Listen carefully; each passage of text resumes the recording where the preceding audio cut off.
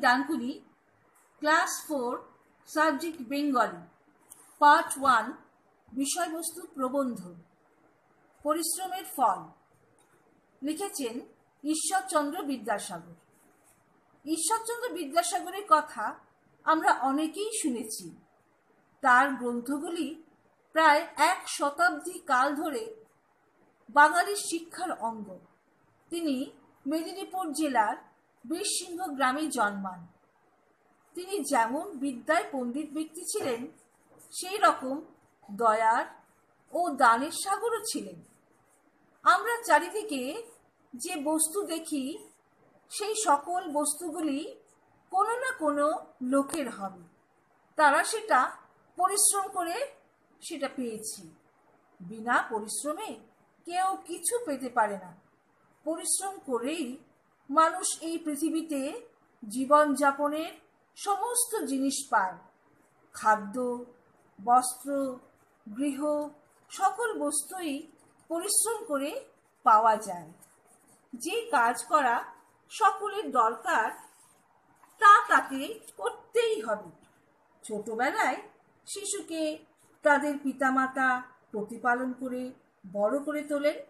পিতামাতা একদিন বৃদ্ধ হয়ে অক্ষম হয়ে পড়েন। তখন সন্তানদের কর্তব্য হলো বৃদ্ধ পিতামাতাকে প্রতিপালন করা। এটা অবশ্যই করতে হবে। সেই জন্য কর্তব্য কর্মকে অবশ্য বলা হয়েছে। প্রত্যেক মানুষেরই পরিশ্রম করা একান্তই দরকার। তোমরা বইটির সাব বিষয়বস্তু পেলে, ভালো করে পড়বে, পড়ে স্পেলিং মুখস্থ করবে আর রিডিং ভালো করে করবে এখন আমি তোমাদের একটু কাজ দিচ্ছি। সেই কাজটা একটা খাতা নেবে, খাতায় লিখবে। প্রথমে লিখবে পরিশ্রমের ফল, নিচে লিখবে ঈশ্বরচন্দ্র বিদ্যাসাগর, এইভাবে লাইন দেবে।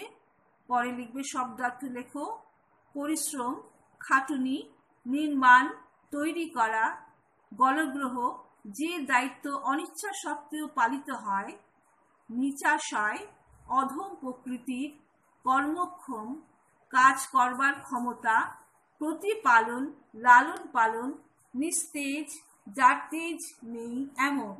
ঘৃণা, দারুণ অবজ্ঞা, কালক্রমে কিছুকাল পরে ভিক্ষা, চাওয়া, পরাগ সমর্থ প্রবৃত্তি, ইচ্ছা, অজ্ঞাতসারে না জানিয়ে প্রতারণা, ঠকানো বাঞ্ছা, ইচ্ছা, যাবজ্জীবন, যতদিন জীবন আছে, নিগ্রহ, লাঞ্ছনা।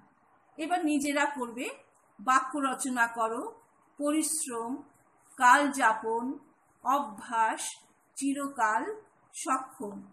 দুই নম্বর, বিপরীত শব্দ লিখবে, ভদ্র, বিশ্বাস, দুঃখে, বৃদ্ধ, উচিত।